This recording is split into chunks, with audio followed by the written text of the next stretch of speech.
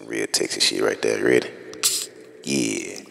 As I pour up this drink, man. What's up, world? OG Ron C. Up in there with my boy Mike Dimes. You already know what it is, man. Hold on right quick.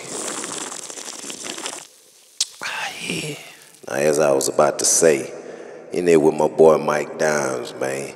Real Texas shit for show. Real music. One of the hottest youngsters doing it.